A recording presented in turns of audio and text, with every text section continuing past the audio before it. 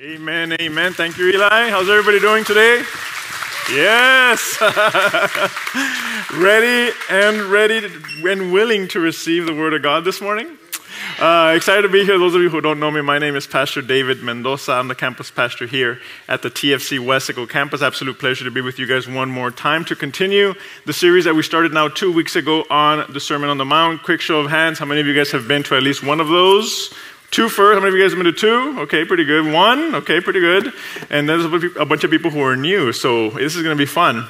Uh, before we get into it, let's go ahead and give a big warm welcome to those who are joining us online as well. Can we give it up for our TFC family, along with the gentlemen of the Lopez unit catching this at a later time? God bless you guys as well. Sermon on the Mount, Matthew 5, chapter 10 is where, I mean, Matthew 5, verse 10 is where I'm going to start the reading for today's scripture. If you haven't been here, the big idea is that we're just going through the Sermon on the Mount. We're, uh, first week was kind of an overview. Last week we started the Beatitudes and how the Lord identifies His people. Uh, if you have, want to re- revisit any one of those, you can actually revisit them online. But the big idea, and that is key for this week, is that when the Lord defines His people in the Beatitudes, He tells us that we have to be poor in spirit. He tells us that we're a people who love and hunger for righteousness. So it's, it's, it's a way to kind of tell us we empty ourselves out of this world. We empty ourselves out of our way of doing things. And when we do that, it creates a hunger for something greater. It creates a hunger for righteousness, a true righteousness of the Father. So that was last week, like I said, so you can revisit that. But I want to kind of jump off of that because I started the Beatitudes last week. I think it was about uh, a good nine verses. But I didn't give you two Beatitudes because they tie into this week's. So let's go ahead and bring it up on the screen Matthew 5 10 through 16, and then I'll kind of go through what the Word is teaching us here.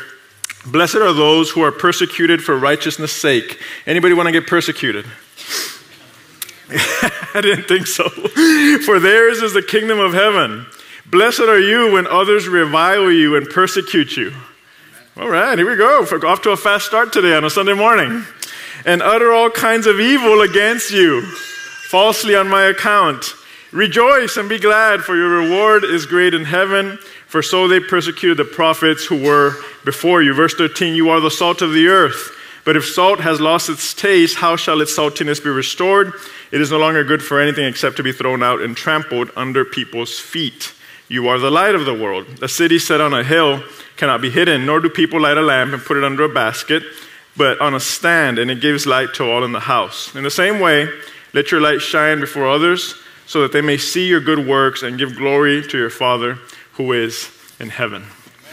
The title of today's sermon is actually uh, Integrated for Impact. Integrated for impact. I always encourage you guys write stuff down, have something to write with, pencil, pen, journal. You can take your phone out, but maintain discipline. Like I always like to say, don't wander into the other apps. Just stay on the notes. Uh, uh, write that down. Integrated for impact. So the big idea today is that I kind of jumped into the beatitudes. The last two beatitudes talk about persecution, and then it gets into salt and light. And it kind of starts off fast, but wait, wait, uh, the tricky part about this is that last week I talked about how the Lord wants us to be poor in spirit, wants us to empty ourselves out so that He can pour Himself in. I want you to rejoice, but I don't want you to seek after rejoicing, and that's your number one priority. I want you to seek after God.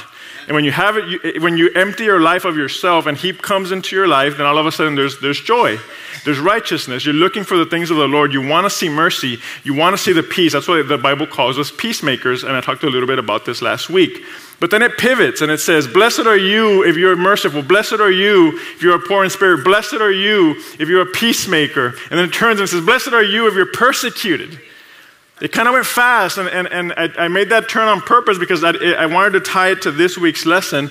And just like last week, there's a dilemma. Who wants to be persecuted? Uh, many of you guys came today and said, You know what, Pastor Dave, I, I could use a little more persecution in my life.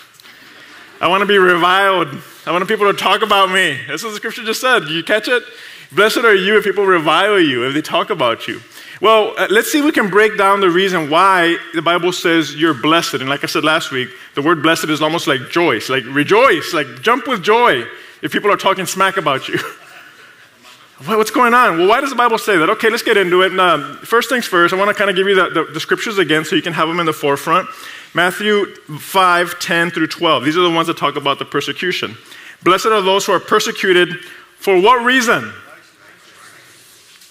Okay? This is important. Not for any not because we're jerks, not because, you know, we're just difficult.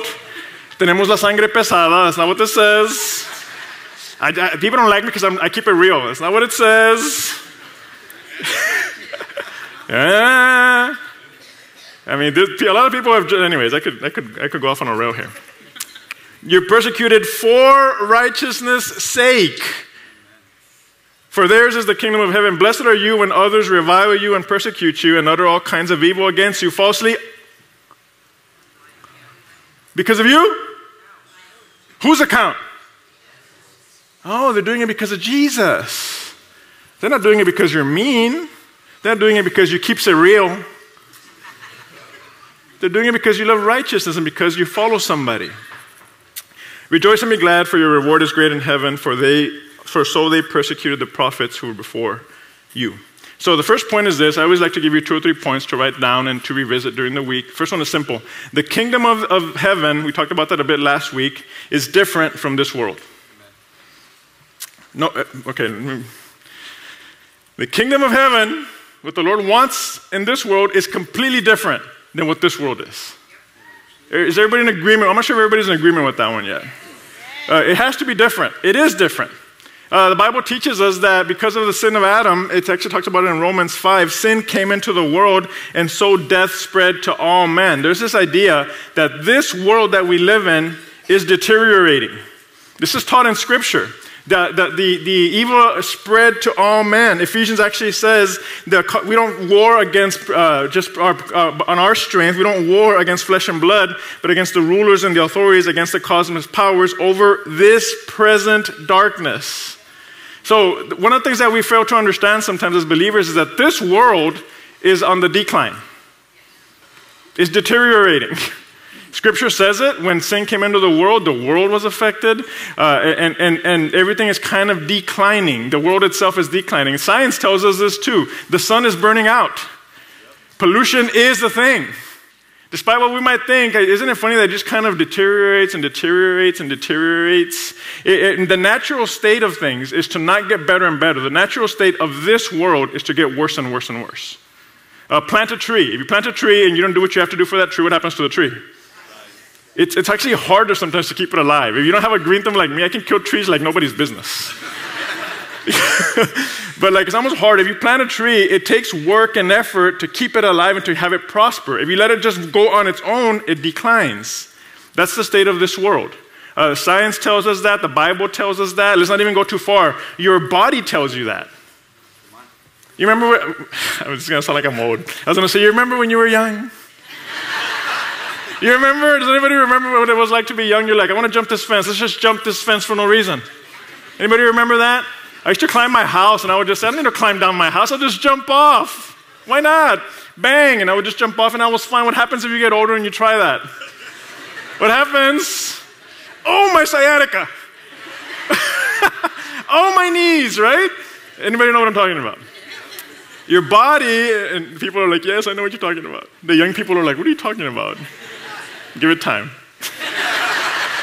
Give it time. uh, your body deteriorates. If, you're not ta- if you don't take care of your body, what happens? Naturally, it starts deteriorating. This world, and this is why it's important, I want to start with this because it's important to understand. This world, the kingdom of heaven, is not like this world. It's completely different. That's important for believers to understand, and you'll see why in a minute. You'll see, I'm, I'm giving you the root of our persecution. Okay? This world is not like the kingdom of heaven. This is not what God sees. It's not what his, He wants His citizens to worry about or to be focused on. This world is on the decline. Pause real quick, I'll give you a public service announcement. Do you see, if we believe this scripturally, because it actually is in scripture, I don't have time to unpack all of it, but if we believe that this world is declining, isn't it funny that citizens of the next kingdom, of the kingdom of heaven, are focused here? If the world's declining, why is this our top priority? Come on, somebody. The car you bought will deteriorate. No matter how many homes you have, they will deteriorate. No matter how much money you have, you will spend it. It'll be gone. So, as a public service announcement, if this world is deteriorating, if this world is on the decline, if the sun is burning out and the moon is getting, and the, and the earth is getting polluted, and our bodies are on the decline, then why are we so focused on this? Amen? Amen. Uh, it's, it's a, what a black way to start the service, David. I'm just trying to set the base for why it's important that we understand because this leads to persecution. You'll see why in a minute. But no matter how we try, I always like to say, like I say at funerals, 10 out of 10 people die. Nobody got, a few people got that. Another way of saying that is that the death rate is un, unchanged no matter what we do. The death rate is pretty straightforward. The death rate is this one for one. And it's black, but I, am trying to teach you something. The, the, this world is declining. That's why the Lord did something about it. But we need to understand that. Okay, that's first. So let's keep going. Man, what a black way to start the service, David. Okay, now the Lord spe- speaks into the believer. Okay? If there's persecution, why is there persecution? Well, let's start with saying that the kingdom of earth, of, of, of heaven, is not like this world. And now that we start to understand that, now we can hear this next part. Verse 13 You, citizens of the kingdom, are salt of the earth. But if salt has lost its taste, how shall its saltiness be restored? It is no longer good for anything except to be thrown out and trampled under people's feet. You, citizens of the kingdom, are the light of the world. A city set on a hill cannot be hidden, nor do people light a lamp and put it under a basket, but a stand, and it gives light to all in the house. In the same way, let your light shine before others so that they may see your good works and give glory to your Father who is in heaven. So, if this world is deteriorating, and the Bible is telling us that you, how many believers in the house today do we have? Amen. Let's self identify. Don't be, don't be shy about it. You know, like, oh, I don't know this, I want to know. It applies to you if you know Jesus, all right? If you're a believer in the house, this world is deteriorating, but you are salt and light. Amen. Okay, what does that mean? Uh, real quick, I'll give you the point and then I'll unpack it. It means that believers are in this world to serve as preservatives and revealers. Pers- we, pres- we, pre- we have preservation and we have revelation. That's part of what we're supposed to do. Okay, what does that mean, David? Let's slow down. Salt, uh, in the olden days, in the days of Jesus, we were not simply just to flavor food. Does anybody know what salt was used for in the days of Jesus? It's a preservative. I give you the answer. You were paying attention. Back in those days, there was no ice box, there was no refrigerator, there was no standing freezer. So if you harvested meat of any sort, you killed an animal, you wanted to have that meat not spoil, and you wanted to use it for your family, you had to slather on that salt. So again, you just bring the meat out, the natural world declines. If you bring the meat out and you just leave it there, what's going to happen to it? Maggot City. Right? Did you have to do anything for that? It just declined. So when Jesus says you're the salt of the earth, what he's saying is that the world declines, and his plan, this is so powerful, to slow the decline is to lather on the Christians in there.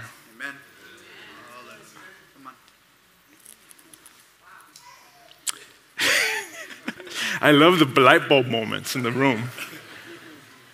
What do you mean? Yeah. You throw it on there to arrest the decline of this world. Have you ever noticed how? Uh,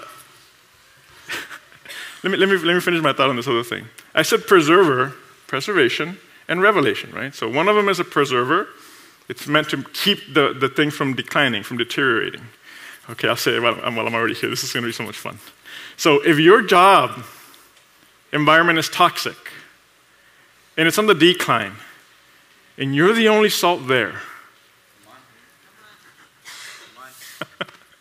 I gotta get out of here because this is toxic and my boss. Do you have to get out? Interesting. If your family is on the decline and they're at each other's throat, none of them know Jesus, but you do. What are you supposed to be doing? Maybe this side's a little bit more open to it. You failed, left side, you failed.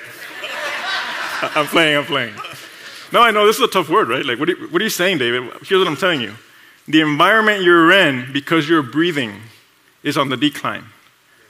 And the citizens of the kingdom have a, ju- a function to perform. And that function is a preservative. You, you arrest it, you slow it. You don't add to it, you don't run from it. You lather it in there. Isn't that funny? And I also said it was a revealer. Light. Salt and light. Salt, light reveals. Uh, when I was growing up, we grew up in some poverty, and our home had a lot of cockroaches. Just me? Nobody laughed at that joke except for me. it's all fun and games until they fly, then it's trouble. David, where are you going with this? I couldn't know where they were until I. Okay? So you turn on the light and it reveals things. All right? So as a believer, here's what I'm trying to transmit. We're called as part of our identity and our function in this world to be preservers of rotting things and revealers of darkness. Uh, if you've ever, if you've been a follower at all for any length of time, and, I, and, and I'm talking about like a good follower, I'm not talking about like one of those undercover Christians. You know, like just, I'm not talking about the ones with the membership card that's all expired. I'm not talking about that. I'm talking about the ones who are trying to live it out. The ones who are actually trying, even if you're trying a little bit, even if you're not perfect, even if you're walking out your faith kind of in baby steps, it'll happen to you at one point or another. You'll step into an environment, whether at work or whether at family or whether at a gathering or whatever environment you're in, you'll step into it, and just because you're there, people will act differently. Anybody ever been there before? They'll be like, like I'm a pastor, so I'm cheating. Like back in the day when they didn't know I was a pastor, but like now I forget it. When I'm a pastor, for sure people change when I walk in. But back in the day when not everybody knew I was a pastor, I would walk into a room and they'd say this, and then blank comes out the cuss word, right? And they'd be like, "Well, I'm sorry." Like, what are you apologizing to me for? Anybody ever experienced that before? what are you apologizing to me for? Why are you apologizing to me? I, I don't ask that. I don't make it weird, right? I just, I just like, don't worry about it. I just kind of let it roll. Uh, sometimes you go into your job, uh, your, your workplace, and people are around the water cooler, if there still is such a thing. Uh, COVID cost us a lot, people. COVID cost us a lot. Back in the day, used to gather around the water cooler, you cheese me, right? Did you hear that the boss did this? Did you hear that the boss did that? Did you hear? And if you're a decent citizen, and you walk into that and you're just like, I'm, I'm, I'm going to get a drink of water, y'all. And you walk in, you're like, all right, here, I'm to serve my water. And then you get there and everybody stops talking. One, they're talking about you.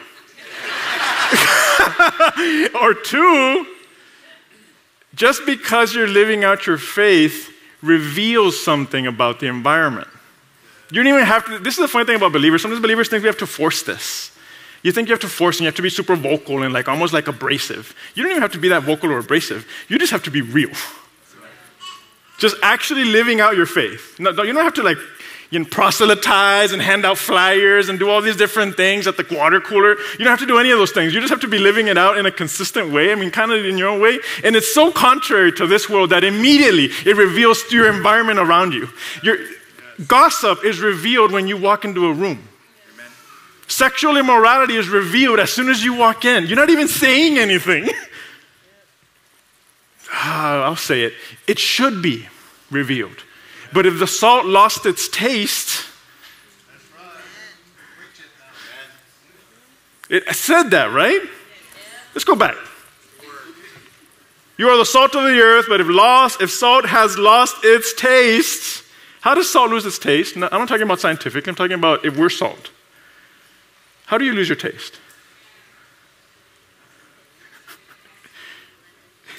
you know the answer to this, right? You know how you lost it? You blended right in.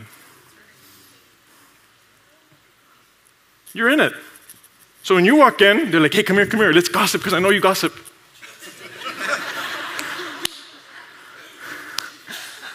Whoa. And the Bible actually says if salt has lost its taste, what can be done to, to get it back? It's actually useless. It's actually better to just throw on the path and let people walk all over it. That's what it says. Salt preserves. When somebody's going through something at work, you can go in there and put your hand to the wound. Oh, man, my husband left me. I'm going through this in my marriage. You don't have to have it all figured out. You can be nice because you have the hope of the world in your heart. And you can just say, What are you going through? It's just at this, and you, and you put your, your hand to the wound. It's okay. It's okay. Jesus loves you. It's okay. You're arresting the deterioration. At the same time, when you walk in, people are going to be like, We can't talk like that around them. We can't do that around them. And you know what happens when that happens? And here's where I'm going to bring it full circle. You know what happens when you start working, exercising this function? People start persecuting you. It wouldn't even be that much. I mean, we're not in the, we're in the West, so like we're not going to get the level of persecution that our brothers and sisters have in other parts of the world. Praise God. But here's what you can expect. Just because you're there, people are going to be like, oh, this guy ruins everything.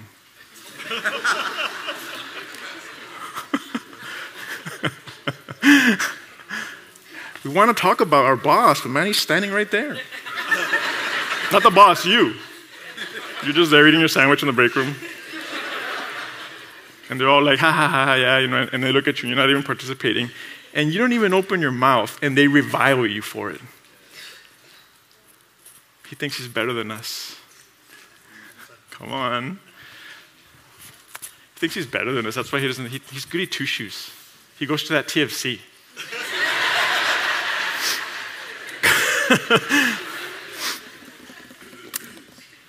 yeah, fun and games, guys, until you start until you start realizing that can happen within families too. Within marriages. You're just being who you're supposed to be. But because you're that, when somebody says, I'm going to do this and I'm going to steal this money so that I can, I'm going to lie to the government, you're like, you, you probably shouldn't do that. You put your salt, your hand to the wound. Probably shouldn't. I'm keeping you from deteriorating. How dare you judge me? You think you're all that? Persecution for righteousness' sake. Not because we're jerks or somehow we force this. You're just simply living a righteous way. Persecution on my account, says Jesus. All you're trying to do is live out what he wants you to live out. Does that to make sense? So you'll get persecution. Who do you think you are? Families will cut you off sometimes. People have experienced that. They have a certain way of living. You come into that family and you just, the Lord finds you because in His mercy He finds you and you start living that out. You start practicing some of these things. Like, I'm going to try my best. And you just, your family's like, who do you think you are? How dare you not be this that we all are? Because this world is. So, pretty straightforward principle. Do you see that? Pretty straightforward. The question is, and this is where a little soul searching wouldn't hurt. The question is, have you ever, ever, ever, ever, ever experienced any such thing as this for your faith? And if you haven't, why? Why? Why haven't you been persecuted? Why haven't people reviled you? Do you see now why I say, who wants to be persecuted? Everybody's like, no. Why not? if you're different than everything else, then you should be judged to a degree. So, hmm, why don't you want that? What's the opposite? Blending in? That's the same as salt losing its taste or the light being covered. See, when Jesus calls out to his people, listen, guys, like, blessed are you of this, blessed are you of this, blessed are you of this, blessed are you of this. And then he gets to this part, blessed are you, they're after you, man because you're just standing still and you're just being what I want you to be. So because you're being what I want you, and you, that's what I mean by not having to force it. You don't have to proselytize. You don't have to take to the internet and be super opinionated. You just have to be what you're supposed to be. And your presence preserves, reveals, and by default, it'll push against people. They're going to wonder why you're like that. They're going to wonder why you don't talk. They're going to wonder why you don't tear down what everybody else tears down. They're going to wonder why you don't drink on the weekends. They're going to wonder why you're not out on the town. They're going to wonder all those things, and they're going to wonder them to the point that they might stop hanging out with you. And is that allowed? Yes, it is allowed. Is it to be expected? Yes, it's to be expected. I want to change the culture of our church to realize if that isn't happening to you, there is a reason why it's not happening to you.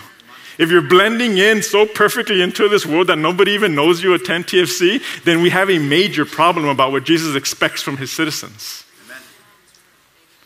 Major problem. He expects salt, he expects light. You're the salt of the earth. But woe to you if you lost your flavor, man. You're the light of the world, but woe to you if you're covering it in a corner and nobody knows about it but you. He's, he's, he, he's getting the standard so high. It's so beautiful, man. Uh, here's what I want for you guys, and I'll move on to the last point. I want you to experience this.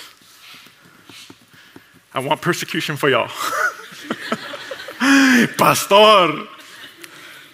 Yeah, I want them to just be quiet when you walk into the room.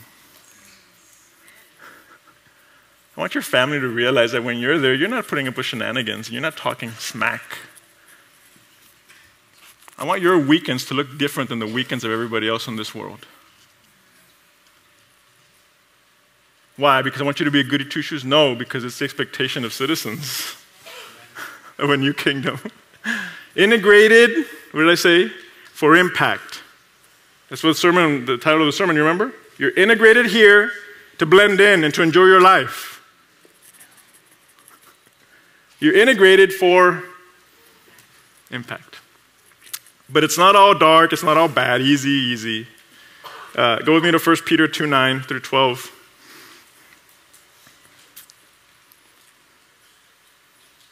1 Peter 2 9 through 12. I'm jumping out of the Sermon on the Mount briefly because I think it'll help.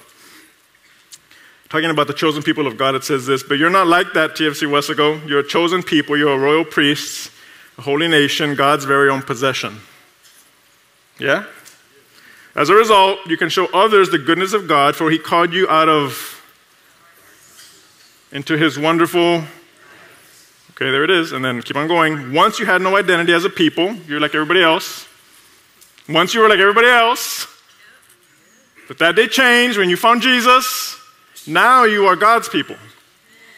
Once you received no mercy, now you have received God's mercy. Dear friends, I warn you, as temporary residents and foreigners. God, I love this. Uh, uh, guys, we're not going to stay here. This is temporary. Why are we building kingdoms as if they're going to last forever here? We're temporary residents and foreigners. This isn't even our land now. Oh man, this I could go a million directions with this. So many people are worried about this world and their rights here that they completely neglect or not even aware of the rights of the kingdom and the standards of a citizen.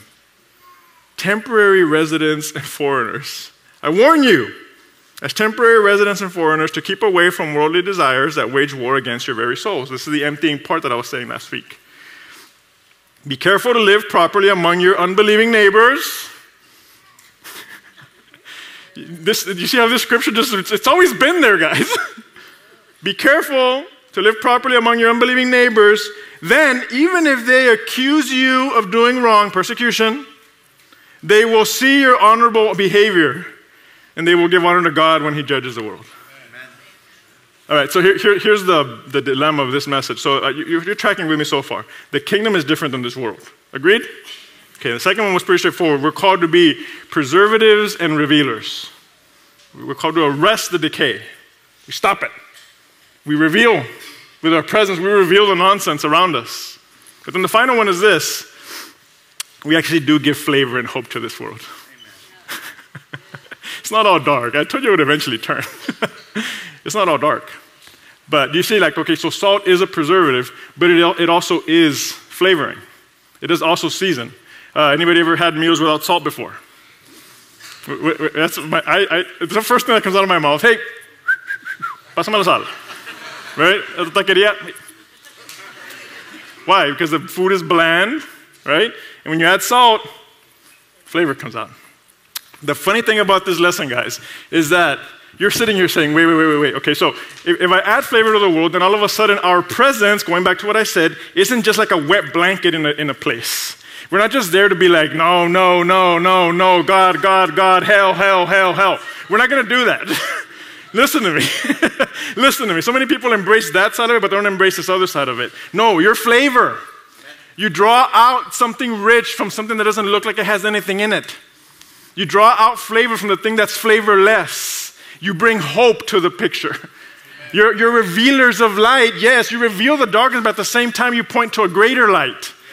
You see, like there's flavor and there's also hope. And when, here, the funny thing about this lesson is you're thinking, okay, wait, I thought they were going to persecute me. So which one is it, persecution or hope? Ready? Yes.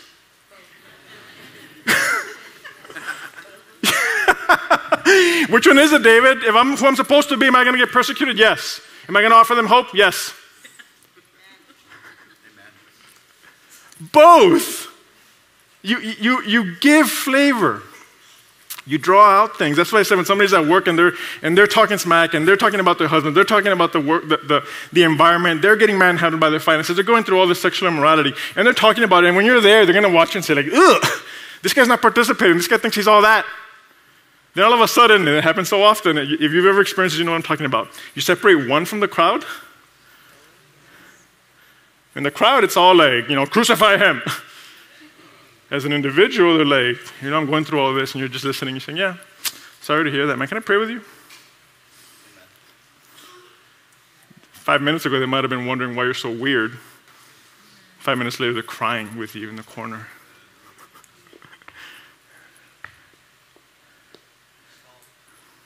what did you do? One, you stood out. They knew you weren't going to participate in the same thing. They knew you had the solution even though they hated you for it. but when the chips were down, who'd they look to? Anybody ever experienced this before? In your family and in your, your job? So weird, like they, they, can't, they can't stop talking about you. But then something happens, the chips are down, who do they call? Why do they do that? Because they know that you have the solution. They know that even though you you being around you makes them feel like, man, this guy's different than me, and I feel so dirty, and I hate them for it. but just, but I'm, i need help. And you'll speak a, a, word of faith, you'll speak a word of life, and you'll bring flavor out of it. And you're like, you're not, you're not condemned. The Lord loves you, and all of a sudden, flavor, hope, light.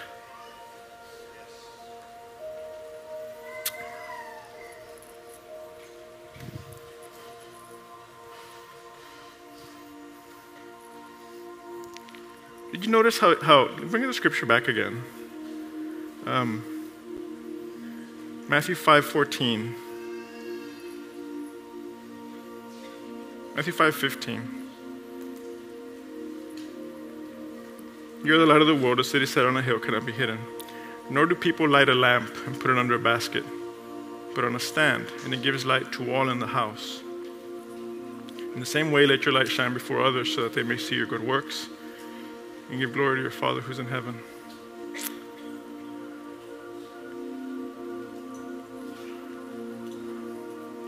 Flavor and hope that the Christian can bring into an environment is I want you to capture this word and then I'll, I'll share one other revelation.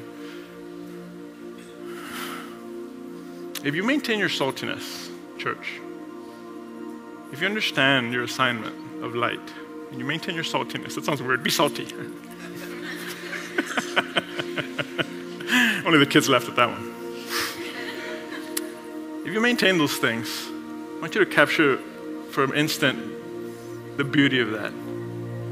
You can change your entire environment.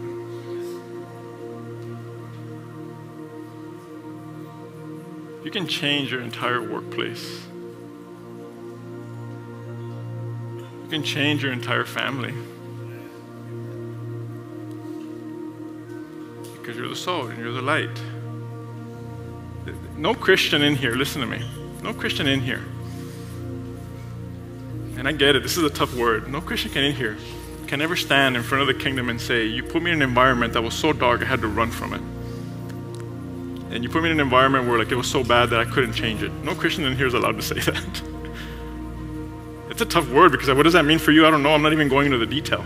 Let the Holy Spirit work that out with you. I'm trying to draw the big picture and say, hey, no, very few of us can actually say, my environment is so toxic, I gotta run from it, I gotta get away from that so I can be okay. That might apply in certain ways, and you have to take that with a grain of salt. But listen to what I'm telling you. If you're a citizen in the kingdom of heaven, you serve a function in that environment. I'm the only believer there. Then be that. Be the salt. Be the light. And the environment, I mean, can you imagine? Can you imagine if we took this seriously? Listen to me. What would the city be like if we took this seriously? On assignment, believers, citizens on assignment. We're going to work today. Oh, time. It's time. it's time. it's time, right? Like I got, I got, I got, I got to put my, my, my, my game face on. I have a job to do here. I have a function to do for my king. As opposed to just blending in and enjoying the things that we're not even a citizen of. Foreigners. What would it look like? And finally, the last thing I want to share with you is that that part what I read to you about the light. You notice what kind of light it used as an example? It said, uh, You are the light of the world. And then it said, Nobody lights a lamp. Use a lamp. This is so important for you to hear. Uh, it uses lamp as our example. Does lamp create light or does it simply hold it?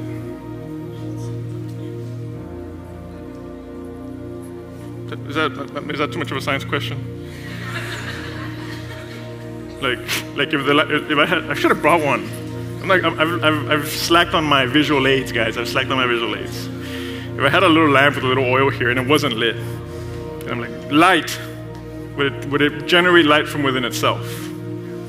Needs to have light from where? From an external source. So the lamp can only hold light. It can't generate it for itself. Okay?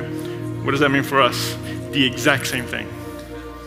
I don't tell you this so you think you can walk out of here and be the sun. I'm going to generate light left and right. You cannot. Listen to me. Listen to me. The, the, the light you can give is only directly tied to the light that you hold. Another way of saying that is are you even lit? are you even following Jesus? Has he actually taken his light of his, of his sacrifice and taken it to your life and lit you? If you haven't, then what are you? Then what's the point of talking about all this? the only thing you can do is hold light. So, the relationship we have with the Lord, and this is what's so powerful about this, all that persecution was on His account. All that persecution was for His righteousness' sake. All the ability to preserve the rotting of this world is because of Him. So here's what I'm drawing back to. Listen to me. If you're here today and you don't have a, a personal relationship with Jesus and you're not following after Him, friend, you have no light of your own. You can't. You'll walk into that workplace and get manhandled. Just manhandled, absolutely wrecked. No, we carry the light of the gospel. And to have that, we have to walk with Him. Does that make, does that make sense at all? Revealers, preservers, salt, hope. then they can accuse you of doing wrong, and they, but they will still see your honorable behavior. Church, uh, I'm going to pray for you, and I want to finish by saying this that this is a call to all believers. I, I had you self identify earlier. and let the Lord just kind of like, I mean, I, I, I, wish I could say I gave you all these practical, like, what does this mean for you? What does it mean for your job? What does it mean for your thing? Uh, last week, like, like last week, this week it's the same thing. I believe the Holy Spirit is directing our church into obedience, into understanding what we're really supposed to be. And what does that mean for you when you leave this place, if you're going back to a place of utter darkness, at your job, at your, at your house, at your home with your kids, whatever, then what are you doing? What's your role? It's challenging. Uh, that's the call for believers, that's the call for citizens, that's the call for lamps in this world. This world is deteriorating, but we point to something greater. Can I get an amen on that? amen? Amen. Amen. Yeah, we're going to give it up. Might as well give it up good. uh, take that word, bow our heads and close to, and pray together, to meditate on the word for a minute as I wrap up our time together. It's okay to, in these moments as I'm talking, maybe not focus so much on what I'm saying, but just ask the Holy Spirit, what does this actually mean for me? What does this actually mean for me?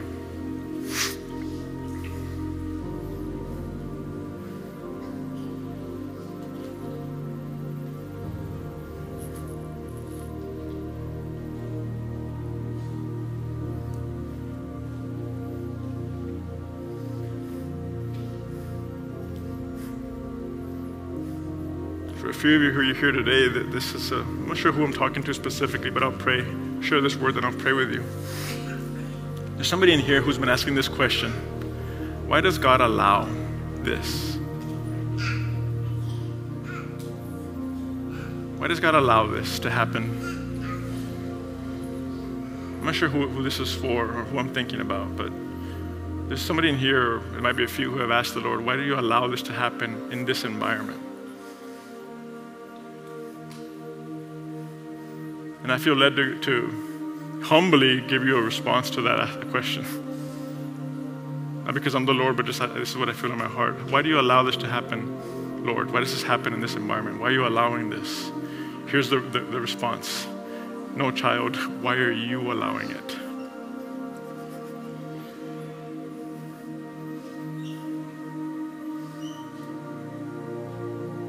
Called as chosen light, as preservers of a deteriorating world, you're positioned to stop those things. I've already given you the authority, I've already given you the position, I've given you the instruction. I don't know who this is for. This is pretty strong. Do something about it. And watch God move. Father God, thank you once again, Dad, for this time. Father, I thank you for this word. I thank you for our congregation, the openness that we have to receive of you. Father, I thank you that your word instructs us, your word resets us, your word restores functionality to your body. Father, forgive us if we've blended in too successfully. Forgive us, Father, if we've hidden in dark corners to not stand out. Forgive us, Father God, if we've made it more about this kingdom than the next. But today, Father God, I pray for hope to rise within our congregation, sparks to kind of start sparking in our hearts to realize it doesn't have to be this way. We can bring hope to this city. We can bring hope to our family. We can bring hope to our community. We're carriers of hope. we have the light of life in us. We can bring hope to our community and to our surrounding areas. Father, we love you for that this morning. Now, if there's anybody here today who has never received Jesus Christ in their heart before or invited him into their life, I said a moment ago, everybody here, myself included, I'm up here. All I am in all these words is just a pale reflection of what Lord is. I carry my light as He has given it, but I am not the light. The light of this world is Jesus Christ Himself, and for that, you have to invite Him into your life. So if you're here and you've never made that decision to follow Jesus, you've kept Him at arm's length, you, you have a faith, but you've never actually invited the light itself into your life. If that's you, maybe at one point you did, but you've walked away, you lost your flavor, the light bulb is snuffed out, and you just feel the need to, to recommit, to return to Him and, and have Him be a part of your life again. If that's you, inviting Him for the first time or making that recommitment, right where you are, can you slip up your hand for me so I can see you? I love that, sir. That, anybody else nice and high for me to see, sir? I see you. We're here in the back. Anybody else? Candles, candles just ready to be set aflame. Anybody else? Nice and high. Sister, I see you. Keep it up for me, sir. Thank you for that hand. I want to know who I'm praying with. Online, you can do the same right where you are. Thank you for that hand. You can put your hands down. Here's what I'm going to do I'm going to pray a prayer with those of you who raise your hand. The Bible says that we believe in our heart and we confess with our lips, that's what leads us to salvation. The journey of faith is not necessarily an easy one, but I always like to say that the entrance is actually a lot simpler than you realize. It's an invitation. The Bible says if you believe it and you confess it, the Lord will come into your life and be your steward, be your Lord, be your Savior. So, what I'm going to do is I'm going to pray a prayer with you and as I pray this prayer, I want you to repeat the prayer after me using your words. You can use my words, but it'll be your voice repeating it and your heart proclaiming it. So I want to do that with you. If you raise your hand or you want to make that recommitment, the rest of our congregation, please pray along with us so that nobody pray, prays by themselves this morning. Nice and loud for the world to hear. Father God, I thank you for your son Jesus. I thank you that he died for me. At this moment, I ask that you come into my heart and that you save me. Wash all my sin away, make me brand new. I receive you as my Lord and Savior in the name of Jesus. And I thank you that because of my confession, I am forgiven, you live in me, and heaven is my eternal home. I am saved. In the name of Jesus, we pray. Amen and amen and amen and amen. Church, can we give it up for the faithfulness of God this morning? Amen. He's good.